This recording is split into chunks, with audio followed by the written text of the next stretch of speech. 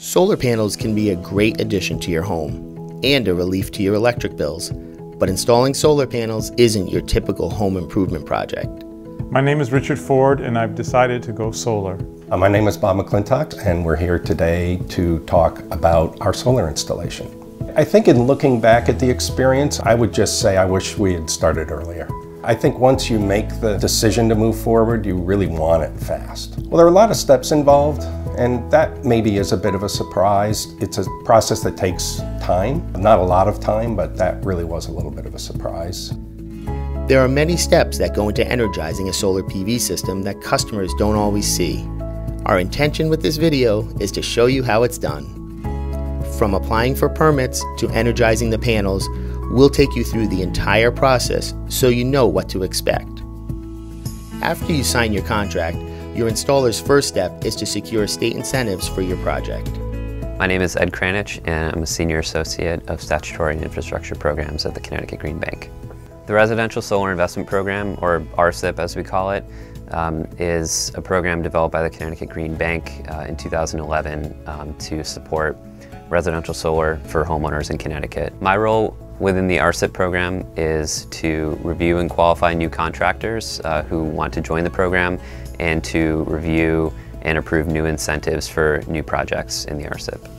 When we review applications, we look for completeness and quality of the incentive, so ensuring that the lease, PPA, or purchase agreement matches the info submitted to the Green Bank, reviewing the drawings, reviewing the customer's electric bill and their usage, um, and ensuring basically that the funds that we're providing for that project are uh, going to a good project and that everything that's being submitted to us is accurate. Once the project has been approved by the Green Bank, we send an email to both the system owner and the contractor to let them know that the project is okay to move forward and that an incentive has been reserved for them.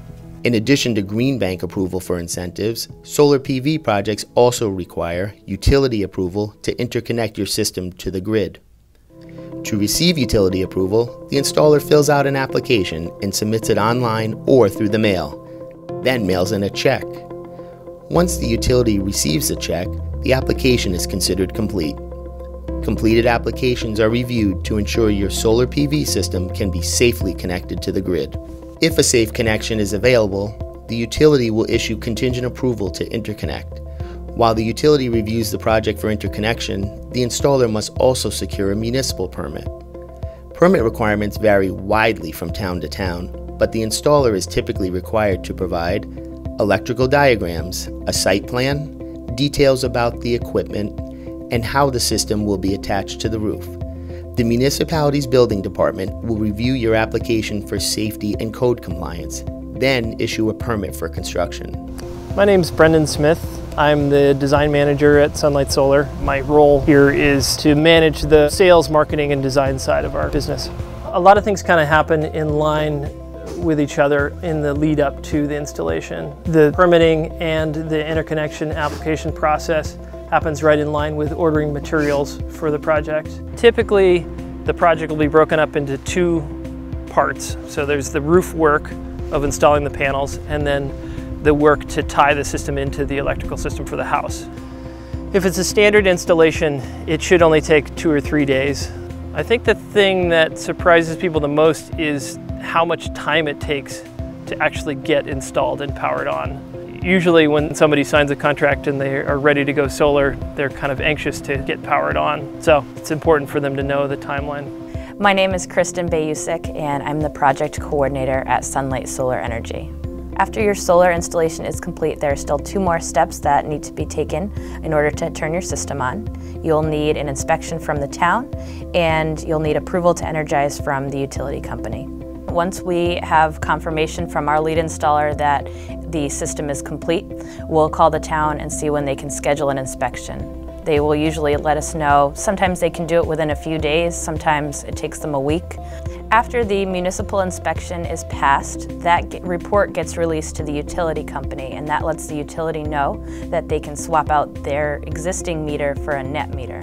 The utility installs a net meter so that we can determine how much energy your house is producing as well as how much you're using and that allows the utility to bill you appropriately.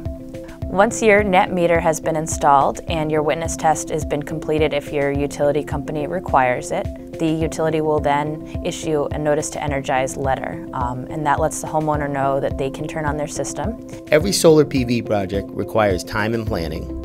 Coordinating the various approvals and reviews can be complex, and variations in processes between utilities and municipalities can impact the time it takes to complete your solar project. Nevertheless, the time that goes into installing your panels is well worth the decades of energy savings, not to mention the reduction of your carbon footprint. For more information, contact the Connecticut Green Bank.